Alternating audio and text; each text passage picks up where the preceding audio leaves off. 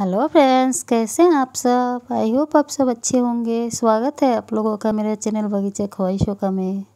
आज मैं बताऊँगी आप लोगों को मैंगो ब्रांच कटिंग करके एक नया प्लांट कैसे बनाना है, सिर्फ़ कटिंग से मिट्टी में लगा के बस।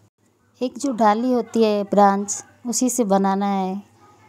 तो कैसे बनता है वही बता रही हूँ। तो एक मदर प्लांट में से एक ब्रांच ले लेना है, जिसमें एक दो नोड एरिया रहना चाहिए। और ऊपर में जो ज़्यादा नोड एरिया जिसमें हो, उससे थोड़ा कम कर देना है, क्योंकि ज़्यादा रहने से जहाँ तहाँ से अंकुरित होंगे तो फिर अच्छे नहीं होंगे। सिर्फ़ एक दो अंकुर लेना ही ठीक रहेगा इसका, जो ऊपर से सूट्स निकलेंगे। एक ही दो लेना ठीक रहेगा, इसलिए थोड़े ऊपर से छाट देना है। ऐसे करके चक्कू से छाट देना है, ताकि ज़्यादा ना निकले। एक दो निकलेंगे तो अच्छे से सक्सेस होंगे। ब्रांचेस का जो लंबाई हो, वो एक फीट ही हो। एक फीट से थोड़ी ज़्यादा हो, लेकिन डेढ़ फीट, दो फीट ना ले, उससे अच्छे नहीं बनेंगे, अच्छे से नहीं उगेंगे। और नीचे का जो मिट्टी में दबाना है, वो हिस्सा को एक इंच करीब हल्के हल्के छील ले, ऐसे निशानी लगा के। एक इंच के करीब ही छीले और हल्के हल्के छीले। सारा छिलका ना निकाल दे, ऐसे छील के इसमें रूटीन हार्मोन कुछ लगा ले, आपके पास जो भी हो। मैं एलोवेरा लगाऊँगी। आपके पास जो भी रूटीन हार्मोन हो, या तो हल्दी लगा लिया, दालचीनी लगा लिया पाउडर जो रूटीन हार्मोन के रहते हैं, वही लगा ले। तो जो एलोवेरा है, मैं पूरे उसको उसमें लगा दी हूँ ताकि ये सक्सेस हो जाए अच्छे से, और इसमें नमी बनी रहे। आप कोई भी मैंगो का ब्रांच ले सकते हैं जो आपको पसंद हो। मेरा तो दशहरी का एक प्लांट है बड़ा सा तो उसी का ली हूँ ताकि उसका छोटा प्लांट बना पाऊँ ऐसे करके। तो आपको जो अच्छा लगे, वही प्लांट का ब्रांच ले सकते हैं, लेके आप एक और दूसरा प्लांट बना सकते हैं ऐसे आसान तरीक़ा से सिर्फ़ कटिंग से। इसका मिट्टी को अच्छी तरह से दबा देना है कस कस के भरना है, ताकि इसका रूट निकलने में सहायता हो तो मिट्टी को अच्छे से दबाएँगे, तभी उसका, उसको रूट निकलने में मदद मिलेगी। और इसका मिट्टी मैं तैयार की हूँ, ज़्यादा मिट्टी है थोड़ी सी मात्रा में कोकोपीट है और सूखा नीम के पत्ते हैं, तीनों मिक्स करके लगाई हूँ। तो मिट्टी का भाग ज़्यादा है और खाद उद नहीं डाली हूँ इसमें। खाद अभी नहीं डालूँगी, जब ये प्लांट पूरे तरह से लग जाएँगे अंकुरन हो जाएँगे, इसके पूरे रूट निकल जाएँगे, पूरा प्लांट मैं देखूँगी बड़ा हो गया है, तब इसको मैं अलग पॉट में लगाऊँगी, इसको खाद उद डालूँगी।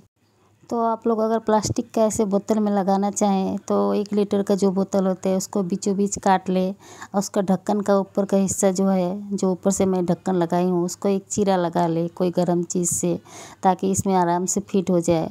ढक्कन लगा के रखने से ही इसमें अंकुरन होंगे। और इसको गाछ के नीचे रख देना है, जहाँ पे थोड़ी सी धूप आती हो। और ये देखिए, मैं आज पूरे पैंतीस दिन बाद निकाली हूँ। गाछ के नीचे रखी थी, लेके आई हूँ इधर। तो आप लोगों को दिखा रही हूँ। तो आप लोग खुद अपने खुद से देखिए कैसा रिज़ल्ट है इसका। और ये जो ग्रीन ग्रीन दिख रहे हैं आप लोगों को, ये साफ़ फंगीसाइड है। तब मेरे पास नहीं थे। बाद में मैं ला के लगा दी थी, पेस्ट बना के ऊपर ताकि फंगस ना लगे और थोड़ी सी मिट्टी में भी छिड़क दी थी। तो इसको धीरे से खोल के आप लोगों को दिखा रही हूँ। दोनों सक्सेस हुए हैं और पूरी तरह से सक्सेस हुए हैं। अच्छे से निकले हैं इसके अंकुरन देखिए कितने अच्छे से हुए हैं। एक एक बड़ा हुआ है और एक उसमें ग्लास में छोटे से हुए हैं, लेकिन दोनों ब्रांचेस ग्रीन है, एकदम अच्छी है अभी। और इसमें फंगी साइड लगा के बाद में रखी हूँ। और मिट्टी में मैं थोड़ी सी छिड़क दी थी बाद में। पहले नहीं था, इसलिए तो आप लोग देख ही पा रहे होंगे दोनों कितने अच्छे से हो गए हैं पैंतीस दिन में। तो फ्रेंड्स आप लोग भी ऐसे लगाएँ।